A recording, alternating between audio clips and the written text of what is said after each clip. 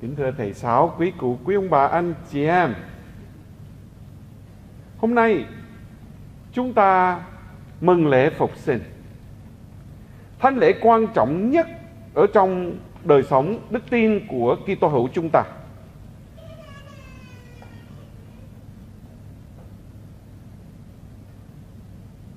Tất cả những gì chúng ta chuẩn bị cho cả mùa chay, hôm nay là ngày cao điểm Mừng lễ phục sinh không là một sự kiện tách biệt, Nhưng nó là một mầu nhiệm vượt qua Mà chúng ta đã suy niệm trong những ngày qua Về sự đau khổ và cái chết, Bây giờ là sự sống lại. Tôi muốn cùng với anh chị em suy niệm một chút thôi Về những gì chúng ta đọc trong bài phúc âm của Marco hôm nay. Ngày thứ nhất trong tuần, theo phúc âm của Marco, Các bà đem dầu thơm và vội vã chạy ra để tiếp tục làm công việc tẩm liệm cho Đức Giêsu đơn giản bởi vì trước đó hai ngày ngày thứ sáu, các bà đã làm một cách vội vàng. Bởi vì ngày sa bát sắp đến, cho nên sau khi Đức Giêsu chết, ở trong kinh thánh viết lại, các bà đã làm một cách vội vàng. Và hôm nay, ngày thứ nhất trong tuần, các bà được đi lại, cho nên các bà đem dầu thơm, thuốc thơm để sức để ít ra tỏ lòng kính trọng, xứng đáng đối với một người là người yêu, người thân của mình. Đơn giản bởi vì lương tâm của các bà không cho phép các bà làm một việc cẩu thả hay làm một việc không vừa ý. Ân hận là kết quả của một lương tâm trưởng thành, và nhiều người trong chúng ta lớn lên cũng nhờ lương tâm trưởng thành mà chúng ta ân hận những việc chúng ta đã làm hay có những việc chúng ta cứ phải nóng lòng để gặp người thân để xin lỗi hay để tha thứ cho họ. Hôm thứ sáu, các bà chưa vừa ý, thì hôm nay các bà ra một lần nữa để tỏ lòng yêu thương, kính trọng người thân của mình là Đức Giêsu Kitô.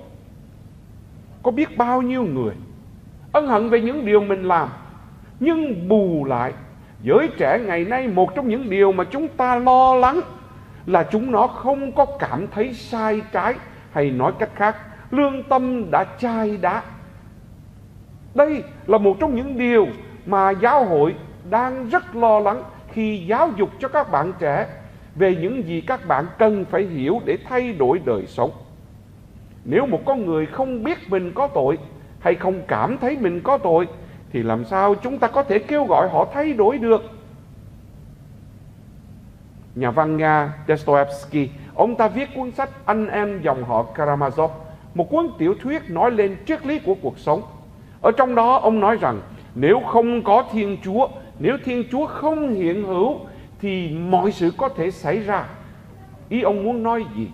Ý ông muốn nói nếu không có Thiên Chúa thì có người cũng không cần phải sống tốt với nhau và lương tâm không quan trọng. Chúng ta có thể chém giết nhau để giành được phần thắng cho mình.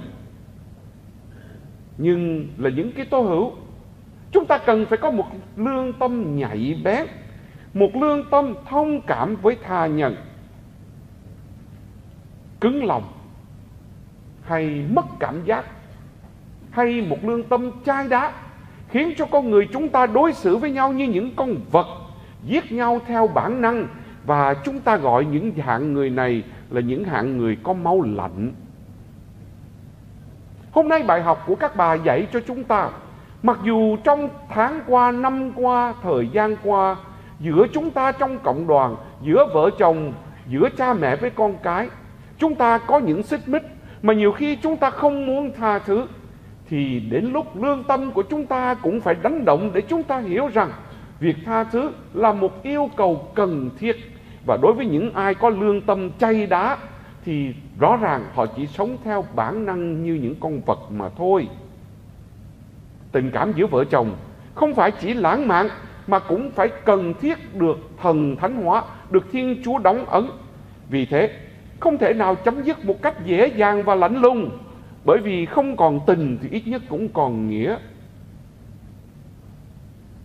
Lạnh lùng là thái độ của những tiểu nhân coi cái tôi quá lớn và coi mọi sự chung quanh, kể cả hạnh phúc của gia đình, kể cả quyền lợi của con cái, cũng chỉ để phục vụ cho cái tôi và cái cứng đầu của mình. Hôm nay lễ phục sinh, Anh chị em sống trong đời sống gia đình Phải làm thế nào để vực lại hạnh phúc và niềm vui Mà gia đình có được từ khi anh chị em mới bắt đầu cầm tay nhau Đứng trước bàn thờ để thờ hứa? Yêu nhau trọn đời và tình yêu của anh chị em đem lại niềm vui không những chỉ cho gia đình mà cho cộng đoàn, cho bất cứ những ai sống và làm việc với anh chị em trong thời gian đó. Hãy luôn nhớ một điều quan trọng nhất, cuộc hôn nhân tốt đẹp không phải chỉ là hạnh phúc mà là sự ổn định chung thủy.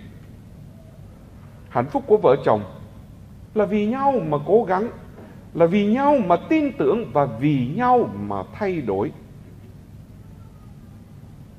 Vợ chồng nghĩa nặng tình sâu, thương nhau đến lúc bạc đầu cũng còn thương. Ông bà dạy như vậy.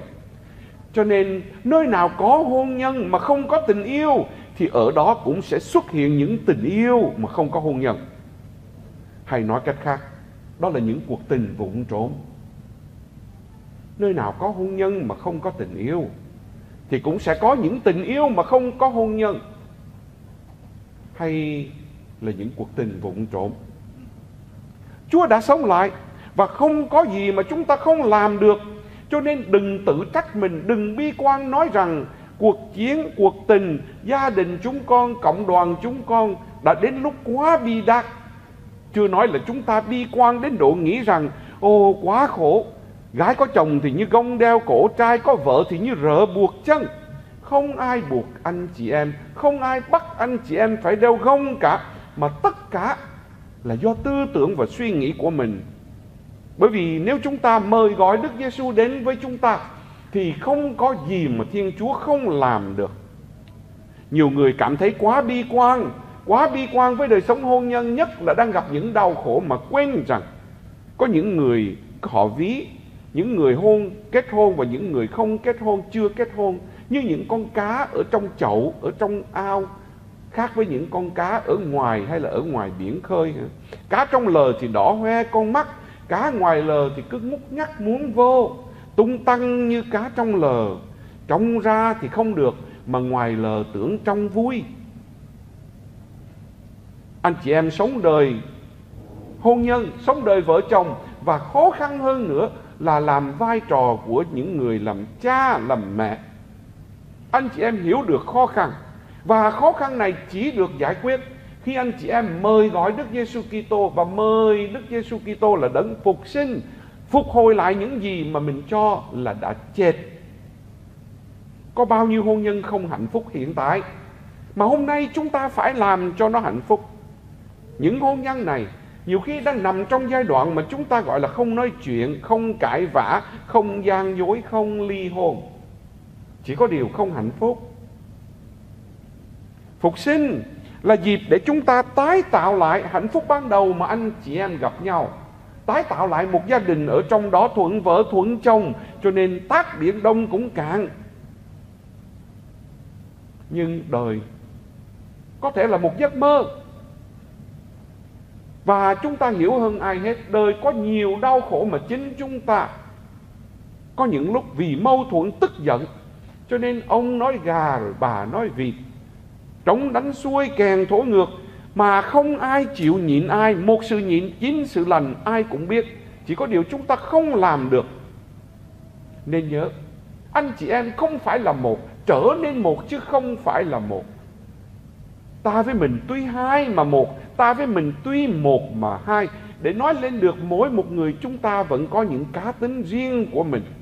Vậy hãy làm thế nào với mầu nhiệm phục sinh với ơn Chúa hôm nay, ít nhất là trong ngày nay, trong tuần này hãy làm cho hai tâm hồn của anh chị em, nhưng chỉ có một ý nghĩ.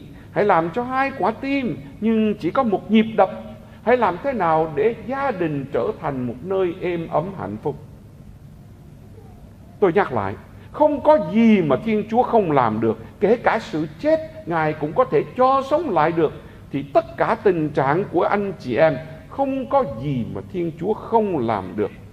Vậy chúng ta cần làm gì để phục hồi lại hạnh phúc gia đình? Hãy tin. Hãy tin là Thiên Chúa sẽ sai sứ thần đến để lăn tảng đá ra khỏi mộ. Khi các bà chạy đến mộ, các bà lo sợ không ai lăn tảng đá quá lớn.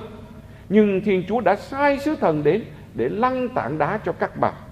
tảng đá che đậy đau khổ của chúng ta tảng đá nặng nề của sự chết, của đau buồn, của thất bại, của vô cảm, của vợ chồng đang bất đồng, thất nghiệp, bệnh tật, nghiện ngập.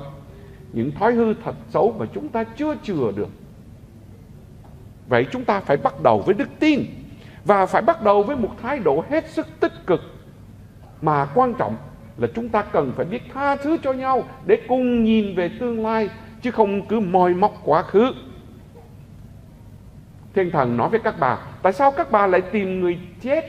À, tìm người sống ở trong thế giới của người chết. Tại sao các bà lại đến đây để tìm ngài? Ngài sống lại rồi ngài đi Galilee rồi và ở đó ngài sẽ gặp các ông. Chúng ta cứ có cái thói quen thói quen bám lấy quá bám lấy quá khứ. Và còn tệ hơn nữa chúng ta còn có thói quen phán quyết người khác dựa vào những gì mà chúng ta mang thành kiến về người đó. Mà chúng ta biết, thành kiến, lỗi đức bác ái, và nó làm cho con người chúng ta trở nên ấu trĩ. Yêu nhau thì cụ ấu cũng tròn, mà ghét nhau thì bồ hòn nó cũng méo.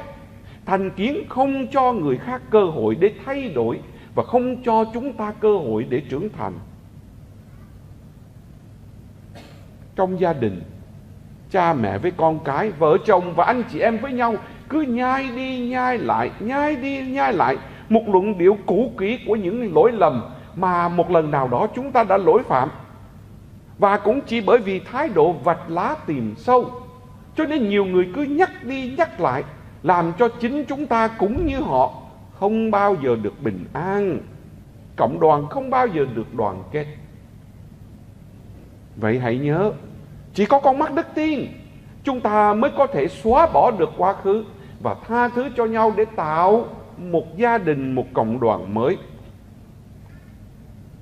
Và sau cùng, thiên thần nói với các bà, ngài không còn ở đây nữa. Ngài đi Galilee để gặp các ông. Galilee là nơi các ông sinh sống, là nơi các ông sống với gia đình nghề nghiệp.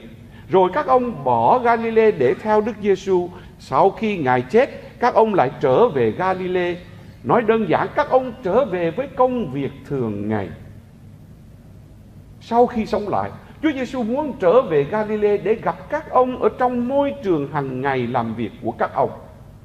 Mầu nhiệm phục sinh mà tôi nói chuyện với anh chị em, nó không nằm trong nhà thờ, cũng không nằm cho những nơi mà chúng ta đi hành hương. Nó nằm ngay chính trong gia đình anh chị em, công việc hàng ngày, giữa vợ chồng, giữa cha mẹ với con cái. Và cộng đoàn chúng ta họp nhau ở đây hàng tuần. Mầu nhiệm phục sinh đang nằm giữa chúng ta và trong chúng ta chỉ có điều nhiều khi chúng ta cứ hóng ngóng nhìn những cái xa vời để tìm Chúa phục sinh mà quên rằng Ngài đang ở với chúng ta trong môi trường hết sức bình thường. Tội lớn nhất của con người, nhất là trong vấn đề thờ phượng, vẫn là tội gần chùa gọi buộc bằng anh. Ngọc nhìn lâu thì sẽ tìm thấy vết, hoa mà để gần thì nó hết mùi hương. Cũng chỉ bởi vì quá quen thuộc cho nên chính anh chị em những người làm vợ làm chồng đã không nhìn thấy cái hay cái đẹp của người phối ngẫu mình. Trong khi những người khác họ nhận ra được nét đẹp nét hay đó ngọc mà nhìn lâu thì sẽ tìm thấy vết. Hoa để gần thì nó hết mùi hương. Không phải bởi vì nó không có hương nhưng bởi vì chúng ta quá quen thuộc mà không nhận ra cái hay cái đẹp của người bên cạnh mình vì thế Hãy mạnh mẽ lên nhưng mà đừng thô lỗ. Hãy tử tế nhưng mà đừng yếu đuối. Hãy khiêm nhường nhưng mà đừng có nhục nhát.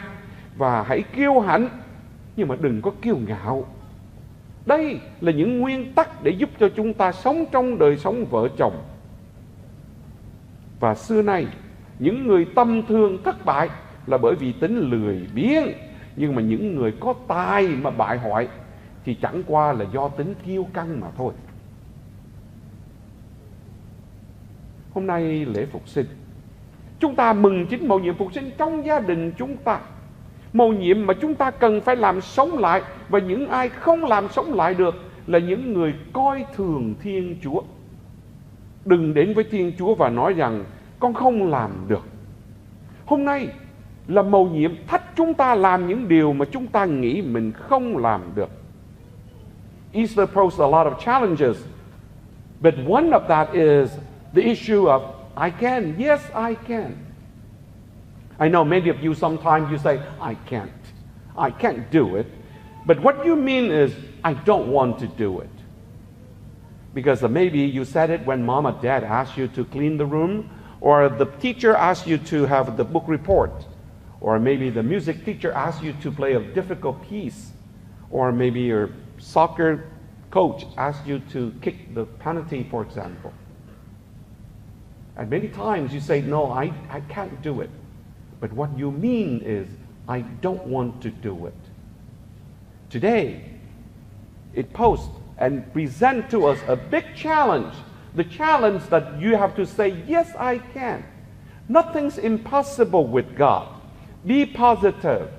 When life gives you a lemon, make lemonade. Be positive. And believe that when God is with us, nothing can stop us, stop us to be successful. This is the, the positive I'm talking about is the spirit of the resurrection. And it is much more than the power of positive thinking. It is the power of God that makes things impossible possible. We Catholics, we are God's children, and we have a power to forgive and also power to recognize our wrongdoing and ask for the forgiveness the power to forgive was deposited in each one of you, but also in your conscience. God gave you wisdom to understand what you say and courage to stand up to ask for forgiveness if possible. And today, God challenges each one of us. Can we stand up and say, Ah, yes, I can? Many times we say, No, I can't. But tonight, we cannot continue to say that anymore because nothing is impossible. Are you willing to let it go of your bitterness, of your anger, of your ego? Is your will subject to God's will? When you pray that every day you come to do God's will, do you mean it? Remember, willingness and surrender from the depth of your heart is the key to unlock the character of your life. And more than anything else, tonight, as we celebrate the resurrection of Jesus, we celebrate the resurrection of each one of us when we stand up and if we have a something wrong or some form of addiction or anything we knew that was wrong, tonight we stand up and say to God, Yes, I can. And I can take that challenge simply because you are with me. Hôm nay chúng ta mừng lễ, mừng lễ Chúa Giêsu sống lại. Chúng ta phải vui lên. Vui lên bởi vì mình biết chắc rằng mình có thể làm được. Và những ai nghĩ rằng mình không làm được là một hình thức mình đang khinh thường Thiên Chúa. Hãy tận dụng việc Ngài đến với chúng ta trong đêm hôm nay. Chúc mừng nhau, đến với nhau trước hết là bạn bè, trước hết là vợ chồng, là cha mẹ với con cái hãy nói một lời ngon ngọt với nhau một nụ hôn một cái vuốt tóc một hành động cử chỉ nho nhỏ để chúng ta hiểu được rằng nếu thiên chúa là tình yêu, thì hôm nay ngài sống lại, ngài đem tình yêu đó đến với mọi người. Và trong mọi hoàn cảnh, đừng bao giờ nghĩ rằng chúng ta không thể làm được. Một trong những câu thơ của thái Cang tôi rất là thích. Khi có người chê bai những người đã lớn tuổi, không thể nào gọi là so sánh được với lớp trẻ. Ông ta có hai câu thơ dạy đời. Em về điểm phấn tô son lại, ngạo với nhân gian một nụ cười nếu trường hợp người ta không thấy mình làm được những điều đó, thì ít nhất mình tự tin đến nỗi hãy về điểm phấn tô son lại, ngạo với nhân gian một nụ cười. Bất kể ai nhìn chúng ta, đó là chuyện của họ. Nhưng với chúng ta và trong chúng ta chúng ta tin rằng chúng ta có sức mạnh của Đức Giêsu Kitô phục sinh. Và vì thế, đêm nay, Happy Easter to all. Chúng ta hãy loan báo tin mừng phục sinh trước hết trong gia đình chúng ta đến từ tâm của chúng ta và cầu mong để mỗi một người chúng ta trong đêm nay trong tuần này nhận thấy được niềm vui niềm vui phục hồi trong một thời gian khá dài có thể vì tình cảm hay những gì đó đã mất mát, đã chết. Happy Easter and we wish young people wish you the best. Stand up and say before God and to others, yes, I can.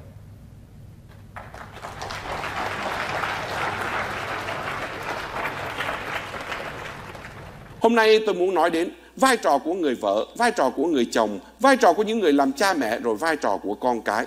Nhưng mà trước hết chúng ta nghe một đoạn ở trong thư của Thánh Phaolô gửi cho tín hữu Epheso mà trong ngày thứ năm, thứ tư vừa rồi lễ Thánh Giuse chúng ta cũng đã nghe. Thánh Phaolô vợ gửi cho Epheso chương 5. Vì lòng kính sợ Đức Kitô, anh em hãy tùng phục lẫn nhau. Người làm vợ hãy tùng phục chồng như tùng phục Chúa vì chồng là đầu của vợ cũng như Đức Kitô là đầu của hội thánh. Chính người là đấng cứu chuộc hội thánh, thân thể của người. Và như hội thánh tùng phục Đức Kitô thế nào thì vợ cũng phải tùng phục chồng trong mọi sự như vậy. Người làm chồng hãy yêu thương vợ như chính Đức Kitô yêu thương hội thánh và hiến mình vì hội thánh. Chồng phải yêu vợ như yêu chính thân thể mình. Yêu vợ là yêu chính mình. Quả vậy, có ai ghét thân xác mình bao giờ Trái lại, người ta nuôi nấng và chăm sóc thân xác mình, cũng như Đức Kitô nuôi nấng và chăm sóc hội thánh. Mầu nhiệm này thật cao cả, tôi muốn nói về Đức Kitô và hội thánh. Vậy, mỗi người trong anh em hãy yêu vợ như chính mình, còn vợ thì hãy kính sợ chồng. Đây là một đoạn hết sức quan trọng ở trong thư của Thánh Phaolô gửi cho Epheso nói về vấn đề gia đình. Mà nhiều khi chúng ta đọc với cái tư tưởng của mình ngày nay tư tưởng mà cho rằng phục tùng là một điều gì xấu xa hoặc là một điều gì yếu kém. Trước hết, chúng ta nói đến vai trò của người vợ. Vai trò của người vợ ở trong đoạn Kinh Thánh nói ở trên là gì? Người vợ hãy phục tùng chồng. Ngày nay có một điều mà giáo hội quan tâm và Đức Hoàng Đức Thánh Gioan Gioan Phaolô đề nghị trong cái năm trong cái tông thư mà về gia đình ngài cũng có nhắc đến. Những người đàn bà ở bên Âu Châu ngày nay họ chú ý quá nhiều về vai trò làm vợ mà họ quên đi vai trò làm mẹ. Nhiều khi con cái thả trong xe để ở nhà rồi cứ đi party à. Là bởi vì họ chú ý đến vai trò của người vợ họ sợ mất chồng. Bên cạnh đó, người Việt Nam của chúng ta đôi khi lại có những người quá chú ý về vai trò của người làm mẹ mà quên đi vai trò của người làm vợ. Ông làm gì thì làm, tôi ở với con cái mà thôi. Và cuối cùng mình chỉ lo cho con cái mà mình hất người chồng qua một bên. Vai trò của người làm vợ và người làm mẹ nó đi đôi với nhau cũng như vai trò của người làm cha và người làm chồng. Chúng ta không thể tách ra được. Trước hết tôi nói về vai trò của người làm vợ. hả Người làm vợ hết sức quan trọng. Ở trong tình yêu, người vợ phục tùng chồng. Nhưng làm gì có phùng, phục tùng ở trong tình yêu? Chúng ta hãy nhìn các bạn trẻ khi mới yêu nhau. Có bao giờ mà chúng nó bắt phải phục tùng nhau chưa? Có bao giờ mà em gọi anh, anh ơi anh phải tới đây để chở em chưa?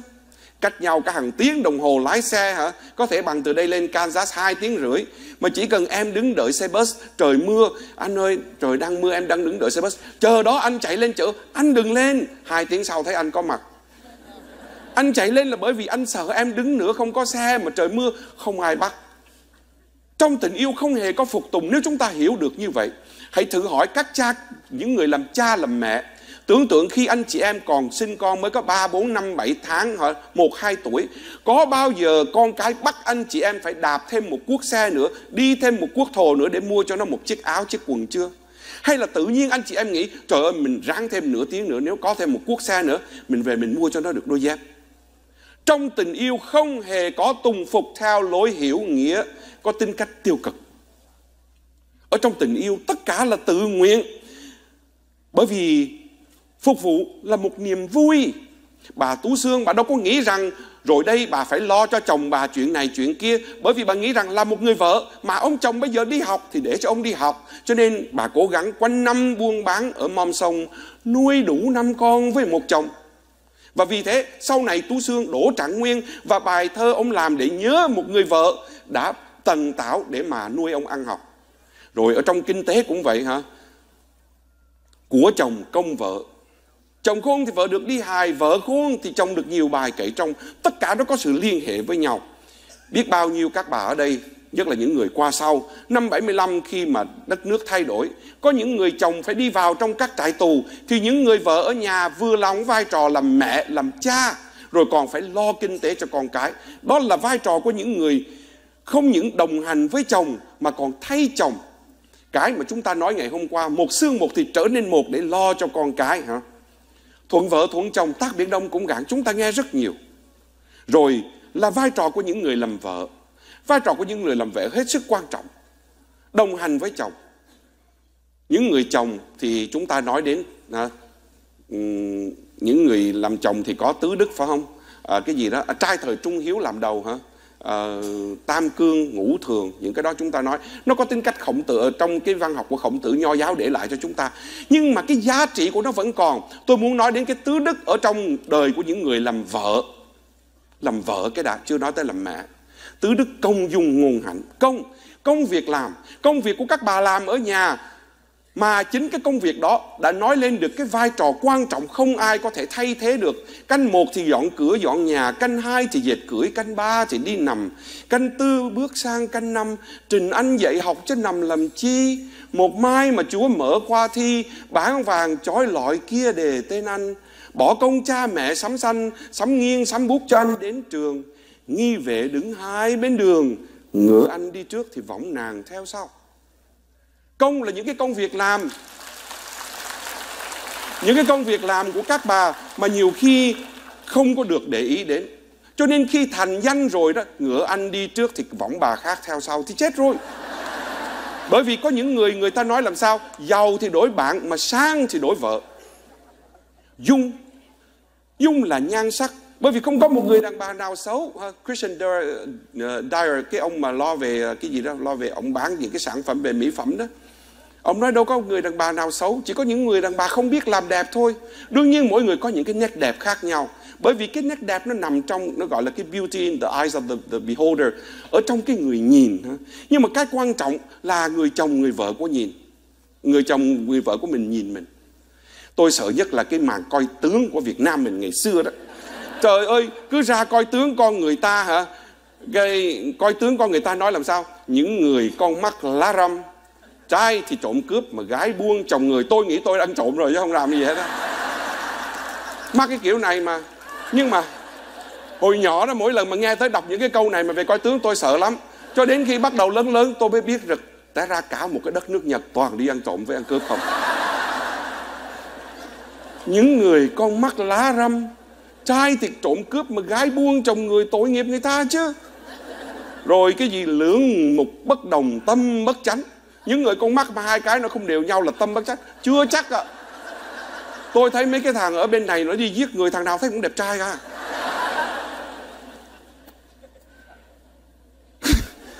Cái coi tướng nó cũng quan trọng. Nhưng mà, ý tôi muốn nói, mỗi một người, cái dung nó quan trọng, cái đẹp mà chúng ta nói, ở đây không phải là cái lớp về hôn nhân, nhưng mà tôi chỉ muốn nói là mỗi một người đàn bà, mỗi một người con gái cũng phải làm thế nào để giữ. Bởi vì gái thì tam tài mà trai thì tham sắc có lẽ là Thiên Chúa đã dựng như vậy rồi, cho nên các bà cố gắng nghe lời cái lời thơ của người ta nói ngay cả khi mà mình cảm thấy già, mình xấu không sao hết. Em về điểm phấn tô son lại, ngạo với nhân gian một nụ cười. Cùng lắm thì tại sao mình lại phải chịu đau khổ phải không? Rồi. Ngôn, công dung ngôn ngôn là lời nói những lời nói dịu dàng, dễ nghe, hả chim khôn thì hót tiếng rảnh rang mà người khôn thì nói tiếng dịu dàng, dễ nghe. Có những người nói những cái tiếng, tôi không nói là tiếng thé thé hay là cái âm thanh. Có những người mở miệng ra là bắt đầu chửi rồi. Khó chịu. Hôm qua hai cha đều kể lại cái chuyện là có một đứa nhỏ nó nói, mẹ ơi, con hết chịu nổi rồi, bây giờ con phải đi. Ông chồng xin đi theo là vậy đó. Hạnh hạnh là cái tính nết, cái đức độ, cái tiết hạnh ở trong đó cái hạnh của người Việt Nam còn đến tam tòng nữa kia, hả? tại gia tòng phụ, xuất giá phòng phu là phu tử tòng, tử tất cả những cái đó.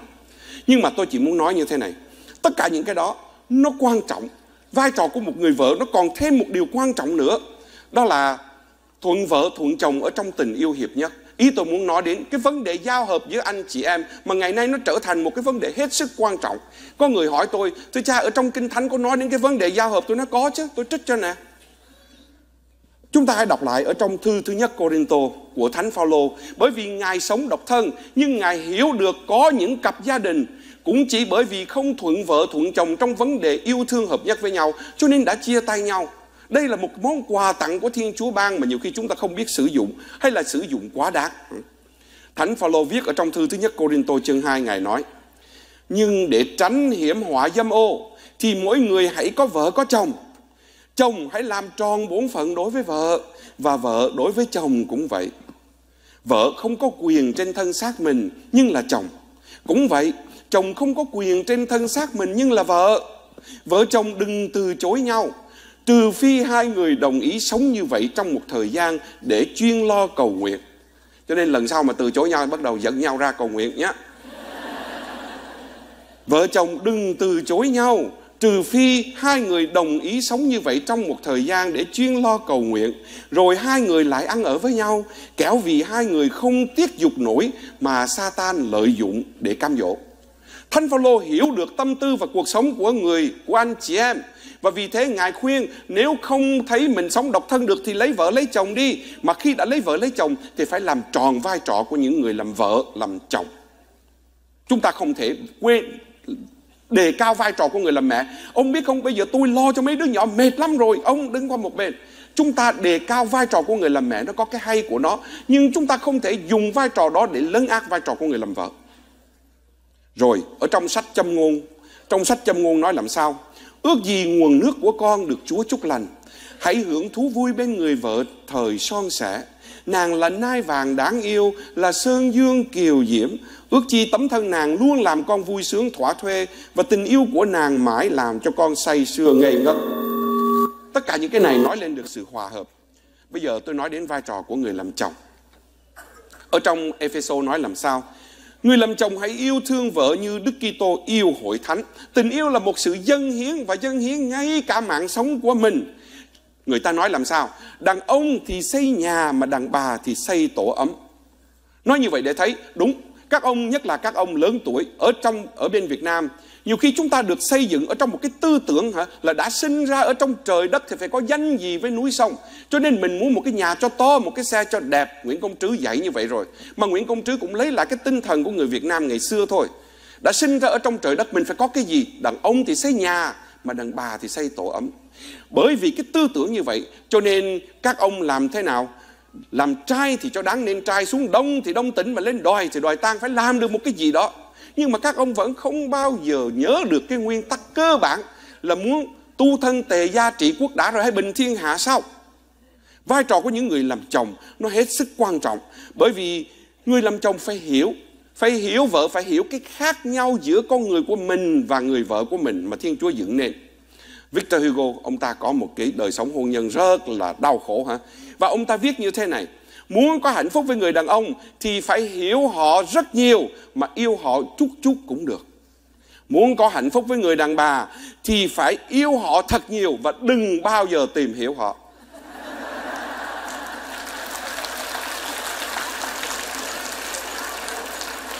Các bà nói trời, nói đất, nói cái gì cũng được, đừng bao giờ cãi. Cứ yêu các bà thì mọi sự xong xuôi. Nhưng mà các ông cũng là nhìn các bà như là những người đồng hành, chứ không phải là những người sai vặt. Có bao giờ các ông, có bao giờ các ông nghe được những câu mà các bà than với những người khác chưa? Có con thì phải khổ vì con, có chồng thì phải gánh gian sang nhà chồng, hay là làm dâu khổ lắm ai ơi? Vui chẳng dám cười mà buồn chẳng dám than. Tại ai? Thưa là cũng bà tại bởi vì người chồng của mình không thông cảm cho mình cho nên vai trò của người chồng việc đầu tiên là phải thông cảm để khi mà phu sướng phụ tùy. Mình nói thì mới có người theo. Present, present, một trong những triết gia của người Anh. Ông ta nói đó, người đàn ông có hai sở thích. Một là những cái thú phiêu lưu, hai là sự nguy hiểm. Cho nên các ông rất thích tìm kiếm ái tình bởi vì ái tình là một trò chơi nguy hiểm. Nhưng mà, hôn nhân công giáo của chúng ta, gia đình của chúng ta không phải là một trò chơi. Nó không phải là một trò đùa, nó là một bí tích. Vì thế, người chồng phải hiểu được vai trò của mình. Các ông như là những cái mái nhà mà ở đó người ta nói làm sao, con mà không cha thì như nhà không nắp. Nếu chúng ta hiểu được cái vai trò đó, thì việc đầu tiên là chúng ta phải thông cảm, yêu thương vợ và hiến mạng sống cho vợ rồi vai trò của những người làm cha làm mẹ. Vai trò đầu tiên là phải dạy cho con cái. Làm cha làm mẹ là những người thầy đầu tiên. Có cha có mẹ thì hơn, ha? Không cha không mẹ thì như đờn đứt dây. Đờn đứt dây thì còn có tay mà nối lại. Chứ cha mẹ không còn thì con phải mồ côi. Vai trò của cha mẹ hết sức quan trọng bởi vì ngay khi chúng ta được nhận nuôi ở trong một gia đình, chúng ta gọi là con nuôi hay trong các cô nhi viện, các sơ, các cha vẫn giúp nâng đỡ, dạy dỗ rất nhiều, nhưng nó hoàn toàn khác. Vai trò của những người cha, người mẹ dạy cho con cái những cái tiếng đầu đời và ở trong đó có cái tình cảm nữa. Điều quan trọng là làm thế nào để vấn đề giáo dục đừng có trống thổi xuôi, kèn à, trống đánh xuôi mà kèn thổi ngược. Ha? Người ta nói làm sao? Mẹ đánh 100 thì không bằng cha ngâm một tiếng. Nói như vậy không phải để nói lên là người cha dữ dằn, nhưng nói lên sự hợp tác trong vấn đề giáo dục giữa những người làm cha làm mẹ. Đối với người cha là rường cột của gia đình và ai ở Mỹ đây thì đều biết là người da đen họ gặp một cái vấn nạn rất lớn là vắng bóng người cha ở trong gia đình của con cái họ ha. Người cha, người mẹ là những người đầu tiên dạy cho con cái về đức tin. Và khi dạy thì những người cha, những người mẹ phải biết như thế này. Họ phải biết thứ nhất là họ có quyền để dạy cho con cái. Ha? Họ có quyền dạy cho con cái về đức tin. Không ai có thể cấm họ được. Đây là đức tin công giáo, dạy cho con cái. Sau này lớn lên nó bỏ là chuyện của nó, nhưng mình phải dạy nó từ nhỏ. Cái thứ hai là mình phải biết tin tưởng và phó thác vào Thiên Chúa. Bởi vì cha mẹ sinh con, trời sinh tính. Nhiều có ông bà, nhiều ông bà cứ muốn mình làm Chúa. Con tôi nó làm như vậy, bây giờ tôi thay đổi không được làm cái gì. Nhiều khi con nói với các bà đó, các bà nói nó không nghe, cầu nguyện nhiều nó cũng không nghe. Thì bây giờ như thế này, vô trong nhà thờ đó, quỳ nhìn lên tượng Chúa nói Chúa ơi, con cố gắng hết sức, con cầu nguyện, con khuyên nhủ, con làm đủ mọi sự, con làm không được, bây giờ con đố Chúa làm gì được nó. Chúa cũng chịu à là bởi vì mỗi người có một cái tự do cho nên khi con người đã có tự do để mà phản bội Chúa như Juda Chúa cũng không làm gì được nói như vậy để thấy cha mẹ sinh con, trời sinh tính, ở trong đó chúng ta cũng phải tin tưởng và phó thác cho Thiên Chúa. Rồi, cha mẹ cũng phải dạy con bằng gương sống của chính mình. Con cò mà đi ăn đêm, đậu phải cành mềm lộn cổ xuống ao. Ông ơi, ông vớt tôi nào chứ ông nỡ lòng nào mà ông lại sáo măng. Sáo măng thì sáo nước trong, Chứ đừng sáo nước đục mà đau lòng cò con một hình ảnh hết sức tuyệt vời mà tôi nghĩ chỉ có trong gia đình của Việt Nam chúng ta đưa một hình ảnh con cò ra để nói lên cái tình thương của người cha, người mẹ. Họ thương một cách vô vị lợi, vô điều kiện và thương cho đến cùng như Chúa Giêsu nói với các môn đệ. Con cò mà đi ăn đêm, còn sao đi ăn đêm được? Chỉ có con cú mới đi ăn đêm, cò nó đi ăn ngày nhưng mà ban ngày nó tìm mồi cho con, nó không có giờ. Cho nên cho con nó ăn trước, rồi tối nó đói nó mới mò ra kiếm được cái gì ăn. Mà bởi vì mắt nó thì là tạo hóa đâu có dựng cho ban đêm, cho nên nó lộn cổ xuống ao, rồi nó bị bắt, rồi nó cảm thấy đau khổ và nó biết nó sắp chết. Nhưng khi nó chết, nó có nghĩ tới thân nó không? Thưa không, Ông ơi, ông vớt tôi nào, ông nỡ lòng nào mà ông lại ăn thịt tôi. Nhưng nếu trường hợp ông giết tôi thì không sao, tôi chết rồi. Có sáo thì sáo nước trong Đừng sáo nước đục mà đau lòng con tôi ở nhà Cho đến khi chết, những người làm cha, làm mẹ, họ hy sinh tất cả và họ vẫn nghĩ đến chúng ta chứ họ không nghĩ đến thân phận của họ. Một bài thơ rất đơn sơ, nhưng mà nói lên được cái hy sinh vô điều kiện và vô vị lợi cũng như tận cùng của những người làm cha, làm mẹ, hả? Rồi dạy cho con cái thì dạy cái gì đây? Thưa là phải dạy đức tin và luân lý. Ở trong đó đức tin và luân lý thì chúng ta nghe ở trong sách Deuteronomy tức là sách đệ nhị luật. Trước hết, nghe đây hỡi Israel, Đức Chúa Thiên Chúa của chúng ta là Đức Chúa duy nhất. Hãy yêu mến Đức Chúa Thiên Chúa của anh em hết lòng hết dạ, hết sức anh em. Những lời này tôi truyền cho anh em hôm nay. Anh em phải ghi tạc trong lòng. Anh em phải lặp lại những lời ấy cho con cái. Phải nói lại cho chúng lúc ngồi trong nhà cũng như lúc đi đường, khi đi ngủ cũng như khi thức dậy phải buộc những lời ấy vào tay làm dấu, mang trên trán làm phù hiệu và phải viết lên khung cửa nhà anh em, lên cửa thành của anh em. Sách Deuteronomy nói những người làm cha làm mẹ phải dạy cho con cái biết có Thiên Chúa và phải dạy cho nó yêu Thiên Chúa hết lòng, hết linh hồn, hết trí khôn, hết sức lực và phải dạy cho nó vô trong nhà phải viết bảng đeo trên tay nó, dán trên đầu nó cho nó nhớ. Khi đi ngủ cũng như khi thức dậy, khi đi ra ngoài đường cũng như về nhà. Việc đầu tiên là chúng ta phải dạy cho con cái về đức tin và luân lý ha. Dạy cho con cái cái gì? Dạy cho nó chữ tâm kia mới bằng ba chữ tài. Dạy cho nó ăn trong nồi, ngồi trong hướng. Dạy cho nó những cái hết sức cơ bản. Ha? Chết vinh hơn sống nhục. Dạy cho nó đói cho sạch rách cho thơm, con à. Con ơi, mẹ bảo con này. Học buôn học bán cho tày người ta. Chứ con đừng có học thói chua ngoa. Họ hàng ghét bỏ mà người ta chê cười. Những cái hết sức cơ bản Chúng ta dạy không những bằng gương sống Mà dạy những cái cơ bản cho nó sống Nếu nó không thành công thì ít nhất nó cũng thành nhân Rồi Vai trò của con cái thì sao tôi muốn nói đến. Con cái phải thảo hiếu cha mẹ. Ở trong điều răn số 4, Chúa Giêsu nói, à, Thiên Chúa nói làm sao? Phải thảo hiếu cha mẹ. Thư của Epheso nói, kẻ làm con hãy vâng lời cha mẹ theo tinh thần của Chúa, vì đó là điều phải đạo. Hãy tôn kính cha mẹ. Văn hóa Việt Nam đặt chữ hiếu rất quan trọng, cho nên nhân sinh bách hạnh, hiếu vi tiền. Trong 100 cái đức hạnh thì chữ hiếu làm đầu.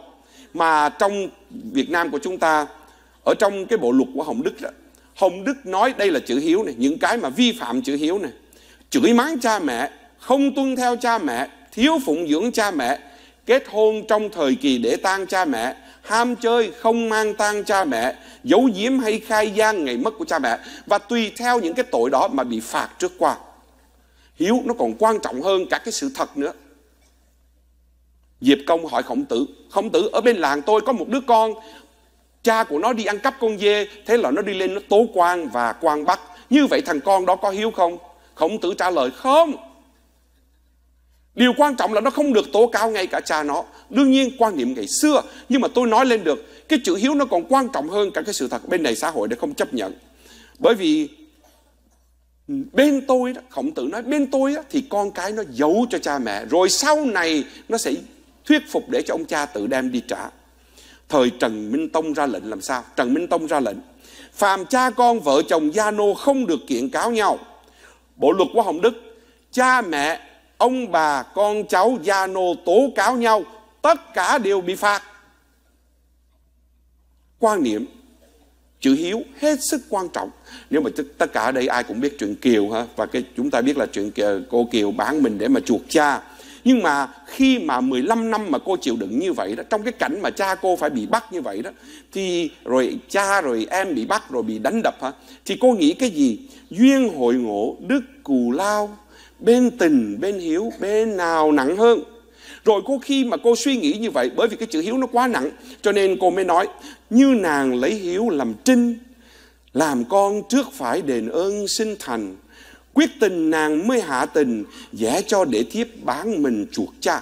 Khi mà cô ta bán mình, cô ta biết là cô ta lỗi với kim trọng. Nhưng mà bởi vì cái chữ hiếu nó quan trọng.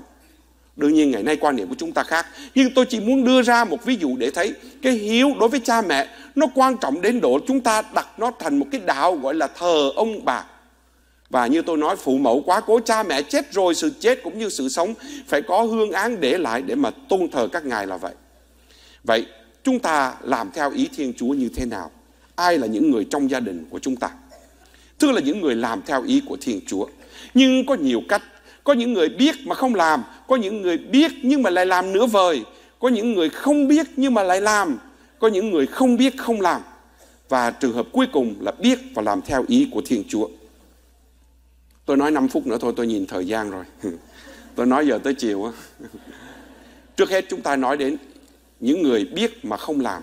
Chúng ta nhớ tiên tri Jonah. Sau khi được Chúa kêu gọi phải đi qua bên Nineveh, thì ông ta xuống Tarsus và ông ta đánh lừa Chúa, nhảy lên một con tàu để đi qua hướng khác. Câu chuyện xảy ra là ra ngoài đó sóng bão và cuối cùng người ta vất ông xuống biển, rồi một con cá lại đưa ông tới thành Nineveh. Đây là những người biết mà không làm, ha. Rồi cái trường hợp thứ hai là những người biết mà làm nửa vời. Chúng ta nhớ là ở trong phúc âm có một chuyện, có người đến nói với Chúa Giêsu Thưa Thầy, cho tôi về chôn cất cha tôi trước đã Chúa Giêsu nói, hãy để kẻ chết chôn kẻ chết rồi có một người về thì xin về chào biệt cha mẹ. Ngài nói, đã tra tay vào cày thì đừng có quay lại. Đương nhiên chúng ta phải đọc Kinh Thánh phải hiểu. Ý của Đức Giêsu nói, Việc đi trao giảng tin mừng và cứu độ Nó hết sức khẩn thiết, Không có cái gì so sánh bằng, Chứ không phải là để kẻ chết chôn, kẻ chết Chết sao mà chôn nhau được. Thì mình nói như vậy để hiểu được cái mức độ quan trọng của nó. Rồi, những người không biết mà vẫn làm. Ông Abraham nghe Chúa nói, hãy đến một cái đất nước chảy sữa và mật ong. Thế là ông đi. Đức Maria nghe nói rằng rồi đây sẽ là mẹ của con đấng tối cao. Rồi mẹ nhận mẹ có hiểu gì đâu. Rồi ông David, ông đang ngồi trong nhà sau khi ông đã ăn năn trở lại. Ông nói với Nathan, trời ơi tôi ngồi ở trong nhà có hương bá ly băng mà đền thờ của Thiên Chúa thì lại không có. Từ đó ông nảy sinh ra việc xây dựng đền thờ Jerusalem. Và sau khi ông có ý đó thì Thiên Chúa chấp nhận. Chứng tỏ ông chưa biết chưa biết ý định của Thiên Chúa cần đền thờ ông đã làm rồi. Chưa biết ý định của Thiên Chúa trong tương lai mình mẹ Maria cũng đã xin vâng rồi. Rồi có những người không biết không làm đó là những trẻ thơ vô tội thôi. Nó không biết làm sao nó làm được. Nhưng mà cái cuối cùng chúng ta nhìn lên Đức Giêsu, Ngài làm, Ngài biết ý định của Thiên Chúa và Ngài làm theo ý của Thiên Chúa. Ở trong vườn cây dầu Ngài nói với Thiên Chúa Cha, lạy cha xin cất chén này đi, nhưng đừng theo ý con, theo ý cha. Tất cả những cái gương sống này cho chúng ta thấy cái gì? Chúa Giêsu nói, ai là anh chị em ta? Ai là mẹ ta? Tức là những người làm theo ý của đấng đã sai ta. Mỗi một người chúng ta có một vai trò riêng người làm vợ, người làm chồng, người làm cha, người làm mẹ. Nếu chúng ta biết chúng ta sống trong một gia đình Kitô giáo là khi chúng ta thi hành chức năng của mình cho đầy đủ. Ngày nay có những nguy cơ suy giảm đạo đức ở trong gia đình, nào là chủ nghĩa cá nhân, nào là chủ nghĩa duy vật, nào là chủ nghĩa tương đối hả? Rồi cái dân chủ và bình đẳng nó làm cho con người của chúng ta nhiều khi cảm thấy gia đình nó không còn là cái trọng tâm nữa. Và cái vai trò của mình chúng ta nhiều khi cũng không có muốn làm tròn. Hôm nay tôi chỉ muốn kết luận như thế này. Thế nào là một gia đình công giáo? Tôi không nói đến là một gia đình công giáo phải có bí tích rửa tội, phải đọc kinh, tôi không nói như vậy. Gia đình công giáo là những người làm theo ý của Thiên Chúa. Ai là chị em ta, ai là mẹ ta, ai là người trong gia đình ta, thưa là những người làm theo ý định của Thiên Chúa. Vậy là những người làm cha, làm mẹ, làm vợ, làm chồng hôm nay đang ngồi ở đây Đừng nghĩ rằng bởi vì chúng ta có con cái đang sống trong một mái nhà mà đó là gia đình công giáo. Chưa hẳn. Bởi vì chính chúng ta nhiều khi thiếu, mình thiếu cái vai trò làm tròn của một người vợ, người mẹ, người chồng, người cha. Hy vọng trong bài nói chuyện tôi giúp để mỗi một người chúng ta khi trở về sống tròn chức trách của mình. Con thì hiếu thảo với cha mẹ, vợ chồng thì thương yêu phục tùng nhau và cha mẹ có bổn phận phải giáo dục con cái. Đó mới chính là gia đình Chúa Giêsu nói, những người thi hành theo ý của Thiên Chúa Cha. Ai có thể tách chúng ta ra khỏi tình yêu của Đức Kitô? Phải chăng là gian truân khốn khổ đói rách hiểm nguy bắt bớ gươm giáo? Tôi tin chắc rằng cho dù là sự chết hay sự sống, thiên thần hay ma vương quỷ lực, hiện tại hay tương lai, hoặc bất cứ một sức mạnh nào, trời cao hay vực thẳm hay bất cứ một loài thọ tạo nào khác, không có gì tách được chúng ta ra khỏi tình yêu của Đức Giê của Thiên Chúa thể hiện nơi Đức Giêsu Kitô Chúa chúng ta. Ở đây Thánh Phaolô khẳng định Tình yêu là động lực để cho chúng ta chịu những đau khổ Và vì thế ở trong cái đầu bài con cũng nói Nên thần học ngày nay nói rằng Nếu Thiên Chúa là tình yêu Thì Thiên Chúa cũng phải đau khổ Bởi vì không bao giờ có một loại tình yêu nào mà không chịu đau khổ cả. Cho nên khi chúng ta chịu đau khổ Bởi vì chúng ta biết yêu, có yêu. Nhưng đâu là cái kết quả? Cái kết quả của những đau khổ dẫn chúng ta tới đâu? Thưa, thứ nhất đau khổ dẫn chúng ta đến với Thiên Chúa.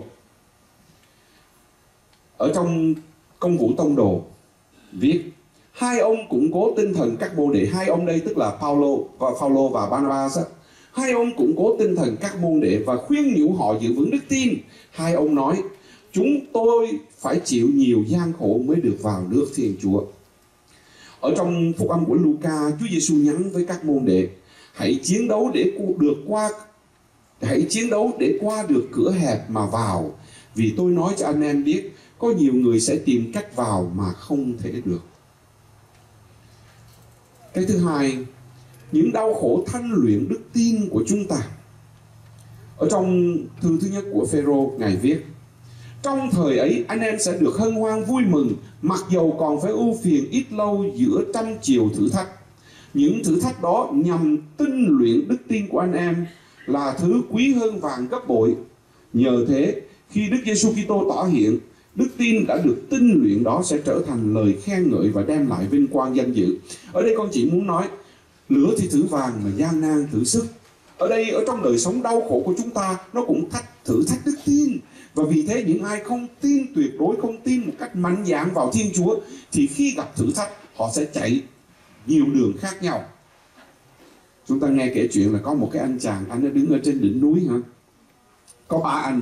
Một anh công giáo một anh phật giáo một anh hồi giáo. Thì thách thử thử thách nhau coi thử anh nào đó là cái anh mà tin là cái người người mà mình tin vào đó từ đấng sáng lập tôn giáo của mình đó, là một vị chúa thật. Thì anh hồi giáo anh nói trước chúa của tao là chúa thật. Thế là bắt đầu anh đứng ở trên bờ vực anh nhảy một cái bắt đầu anh kêu Allah Allah Allah Ờ, thì người ta nghe cái tiếng nó to rồi nó nhỏ dần dần dần. Tự nhiên người ta thấy anh bay ngược trở lại à, lên đứng lại trên núi. À. tới một anh chàng Phật giáo bắt đầu anh nhảy ra anh nhảy một cái anh kêu Buddha Buddha Buddha Buddha thì anh cũng xuống thì từ từ ta thấy anh ta bay ngược trở lại lên đứng lại trên núi ra anh thật rồi. Đến anh công giáo bắt đầu lo này anh nhảy ra mà anh kêu Jesus Jesus Jesus. Cái người ta nghe Jesus, Jesus. Buddha Buddha á la anh kêu náo lạ loạn lên cái câu chuyện nho nhỏ để nói lên cái gì? Bởi vì khi mình không tin bắt đầu trong cái tình trạng hoảng quá là mình bám víu. Cái nào được là mình bám hết. À, cái gì cũng được hết miễn sao được mình là được à? Thanh luyện đức tin trong cái đau khổ nó thanh luyện đức tin. Liệu chừng chúng ta có tin những gì mà giáo hội dạy những gì Chúa Giêsu nói hay không?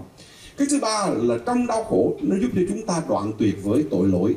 Trong thư thánh Phaolô viết ồ 5 phút nữa nha vậy chính vì Đức Kitô đã chịu khổ trong thân xác nên anh em phải lấy tư tưởng này làm khí giới. Ai chịu đau khổ trong thân xác thì đoạn tuyệt với tội lỗi. Điểm thứ tư là đau khổ nó giúp cho chúng ta trưởng thành. Ở trong thư gửi tín hữu uh, do thái tác giả viết thiên chúa là nguồn gốc và cùng đích mọi loài. Chính vì muốn đưa muôn muôn vàng con cái đến vinh quang nên người đã làm một việc thích đáng là cho Đức Giêsu phải trải qua gian khổ để trở thành vị lãnh đạo thập toàn dẫn đưa họ tới nguồn ơn cứu độ. Ở đây con chỉ muốn nói, trong thư gửi cho tín hữu Do Thái, tác giả nói rằng, chính Chúa Giêsu, đương nhiên, nói về phương diện con người ha. Chính Chúa Giêsu đã trở nên hoàn hảo thập toàn là nhờ Ngài đi qua đau khổ. Cho nên tác giả viết, Thiên Chúa đã làm cho Ngài trải qua đau khổ mà trở thành một vị lãnh đạo thập toàn con người của chúng ta cũng vậy. Muốn thì chúng ta cũng phải qua những đau khổ. Và đau khổ nó giúp cho chúng ta thêm kiên nhẫn. Thánh Jacobe viết, anh em hãy tự cho mình là được trang chứa niềm vui khi gặp thử thách trăm chiều. Vì như anh em biết, đức tin có vượt qua thử thách mới sinh ra lòng kiên nhẫn. Sống niềm vui thập giá. Ở đây con chỉ muốn nói một vài những cái điểm chính. Kitô hữu của chúng ta phải cảm nghiệm. Việc đầu tiên là chúng ta cảm nghiệm thập giá là ở trong thư của Thánh Phêrô ngài nói tới bốn điểm chính. Thật vậy, chấp nhận những nỗi khổ phải chịu một cách bất công vì lòng tôn kính Thiên Chúa thì đó là một ân huệ. Vì nếu có tội, bản nam bị đánh đập và đành chịu thì nào có vẻ vang gì? Nếu làm việc lành và phải khổ mà anh em vẫn kiên tâm chịu đựng thì đó là ơn của Chúa bạn. Nói cách khác, nếu chúng ta tội lỗi, chúng ta làm sai mà bị người ta đánh đập, chịu đựng, thì cái chuyện đó là chuyện bình thường. Đây là người lành ở hiền mà lại gặp dữ. Đó mới là vấn đề. Cho nên thánh phêrô ở đây, ngài đưa ra bốn điều mà chúng ta phải biết. Thứ nhất, chấp nhận đau khổ là một ân huệ. Thứ hai, kiên tâm chịu đựng cũng là ơn thiên chúa ban. Cái thứ ba, chúng ta được kêu gọi để sống như vậy, sống chịu đựng như vậy và chịu đựng những cái vô lý như vậy bởi vì nếu trường hợp mình có tội mà người ta đánh đập thì cần gì phải kêu gọi cho nên chúng ta được kêu gọi để sống như vậy ở trong câu 21 này nè đó là ơn Chúa ban ha và cái cuối cùng Thánh Phêrô muốn nói Chúa Giêsu Kitô là gương mẫu nếu chúng ta hiểu Ngài là đấng vô tội mà cũng bị trừng phạt như vậy. Đối với Thánh Phaolô thì càng hay nữa. Ngài nói đến thế gian này ngu dại mà chiều nay ở trong bài đọc uh, cho các thánh uh, tử vị đạo chúng ta cũng sẽ nghe. Ngài điên dại bởi vì Ngài đến với Đức Giêsu Kitô chịu đóng đạch. Con chỉ muốn nói đến gương Thánh Phaolô một đoạn mà thôi. Thánh Phaolô ngài hiểu được sức mạnh qua thập giá hơn tất cả chúng ta. Cho nên ở trong cái bài viết của ngài đó, ngài nói đến thập giá là sự khôn ngoan trong thư thứ nhất Kitô. Thưa anh em, tôi không đến với anh em, à khi tôi đến với anh em, tôi đã không dùng lời lẽ hùng hồn hoặc triết lý cao siêu mà loan báo màu nhiệm của Thiên Chúa. Vì hồi đó, còn ở giữa anh em tôi đã không muốn biết đến chuyện gì khác ngoài Đức Giêsu Kitô mà là Đức Giêsu Kitô chịu đóng đinh vào thập giá. Ngài muốn nói với tất cả mọi người một trong những điều Ngài đi giao giảng là Đức Giêsu Kitô mà không phải Đức Giêsu Kitô bình thường mà Đức Giêsu Kitô chịu đóng đinh vào thập giá ở đây chúng ta nghe lại cái chuyện này thì chúng ta không thấy cái khó khăn của nó, thấy cái nực cười của nó. Nhưng nếu bây giờ mà có một người đi giết người đi hả? Thì bây giờ thường thường ai là người bị xử tử? Thưa những người bị xử tử là những người vừa giết người, ăn thịt người này kia rồi đưa lên ghế điện, ha? Cứ cho, cứ tưởng tượng như vậy đi. Thì bây giờ có một người cũng lên ghế điện mà bây giờ con đi ra đây để con nói. Bây giờ tôi nói cho anh em biết đây là một cái niềm vui một cái vinh hạnh của tôi người mới bị ghế điện ngày hôm qua. Thì tự nhiên mình cảm thấy rất là khó chịu. Thánh Phaolô rao giảng cho những người trong thời kỳ mà họ nhìn Chúa Giêsu cái chết của Chúa Giêsu như là một tội nhân, một người ác ha, thì chính ngài tự hào về cái chuyện này. Và ngài nói rất nhiều lần. Rồi ở trong đời sống của ngài thì ngài nói đến những cái đau khổ mà ngài chịu cho những người khác. Một trong những cái đoạn mà hay nhất là ngài nói đến những đau khổ ngài chịu cho lợi ích của cộng đoàn. Trong thư thứ hai Corinto, ngài viết, họ là người Do Thái ư, tôi cũng vậy. Họ là người Israel ư, tôi cũng vậy. Họ là dòng giống Abraham ư, tôi cũng vậy. Họ là người phục vụ Đức Kitô ư, tôi nói như người điên. Tôi còn hơn họ nữa, hơn nhiều vì công khó, hơn nhiều vì ở tù hơn gấp bội vì chịu đòn, bao lần suýt chết. Năm lần tôi bị người Do Thái đánh 40 roi bớt một. Ba lần bị đánh đòn, một lần bị ném đá. Ba lần bị đắm tàu, một đêm, một ngày lên đên giữa biển khơi. Tôi còn hơn họ vì phải thực hiện nhiều cuộc hành trình gặp bao nguy hiểm trên sông, nguy hiểm do trộm cướp, nguy hiểm do đồng bào, nguy hiểm vì dân ngoại, nguy hiểm ở thành phố trong sa mạc ngoài biển hơn ngoài biển khơi, nguy hiểm do những kẻ giả danh là anh em. Tôi còn phải vất vả mệt nhọc. Đọc qua cái này chúng ta thấy thánh Phaolô là một người gọi là Superman, một người quá mạnh khỏe. Ngài bị đánh đòn, ngài bị bắt, ngài bị làm biết bao nhiêu việc, vậy mà cũng vẫn còn sống. Ở đây thánh phaolô muốn nói gì? Tất cả những cái chịu đựng này, ngài không có vinh, ngài không có gọi là kêu, ngài không có đưa ra để mà làm nổi ngài chỉ muốn nói đây là tất cả những cái đau khổ, ngài chịu vì cộng đoàn. Và cái vui nhất của ngài là gì? Là bởi vì ngài được hiệp thông với đức giêsu kitô. Gương mẹ maria cũng vậy.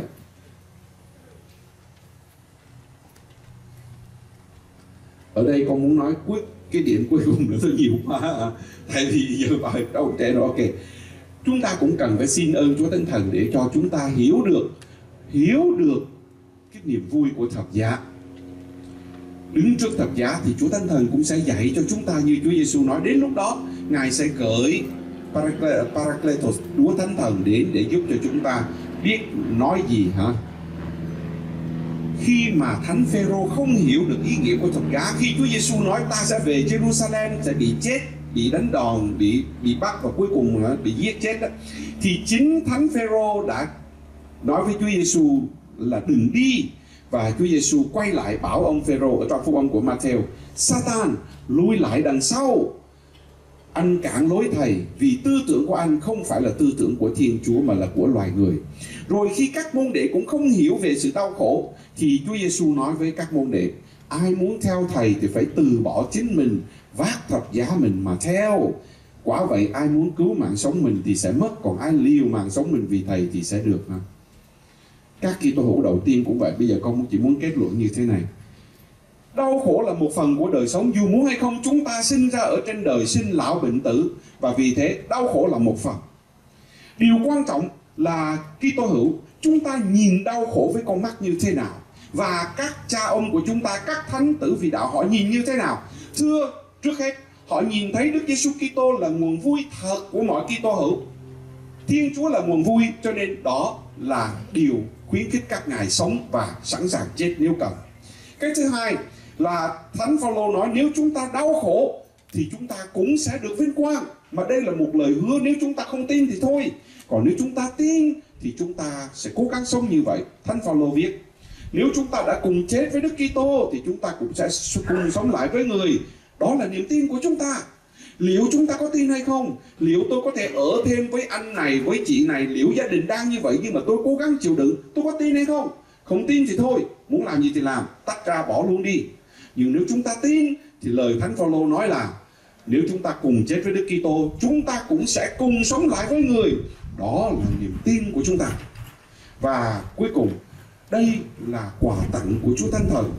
Thánh Phaolô viết trong Galata, hoa quả của thần khí là hoang lạc, là niềm vui và sự nhẫn nhục chịu đựng, mà là quà tặng. Mục đích cũng để làm vinh danh người cho chúng ta là Thiên Chúa. Mục đích cũng để chia sẻ cho những người khác. Và là quà tặng, chúng ta không có đi tìm nó, chúng ta chỉ đón nhận. Cho nên những đau khổ đến trong đời sống, chúng ta vui lòng chấp nhận, đón nhận. Rồi chúng ta tạ ơn Chúa, bởi vì ít nhất chúng ta hiểu được như vậy, thì khi những đau khổ ập tới cho mình, thì chúng ta nhìn với một cái con mắt rất là khác đây là một cơ hội để cho chúng ta hiểu gần gũi với Thiên Chúa và nên thánh nhiều hơn. Con cảm ơn con nói hơi nhiều nhưng mà à, rồi chốc nữa để con giao máy lại cho cha tâm rồi chốc nữa còn bài tới không biết mấy gì